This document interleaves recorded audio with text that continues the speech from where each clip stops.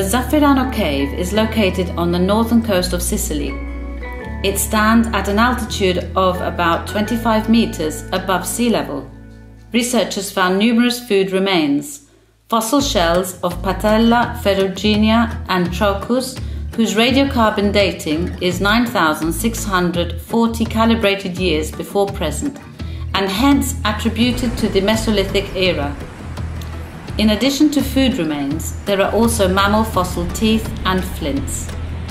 The cave is located in an inaccessible area overlooking the sea. Nowadays, it is reachable only by boat or by mountaineering.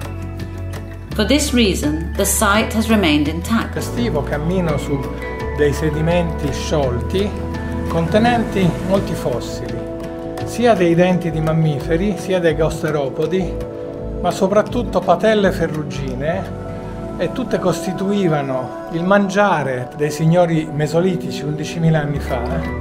Quindi cacciavano o prendevano la patella ferruginea che vive a livello mareale e poi se la venivano a mangiare in questa grotta. The researchers' attention was focused on understanding how the cave could have been reached by its original inhabitants. A bathymetric reconstruction was carried out which highlighted a submerged terrace at an altitude of about 20 meters below sea level. The researchers focused on the submerged flat surface. The sea level altitude, 9,460 years before present, at Capo Zafferano site is 39 meters below sea level. So, Mesolithic man must have used the now submerged terrace to access the cave.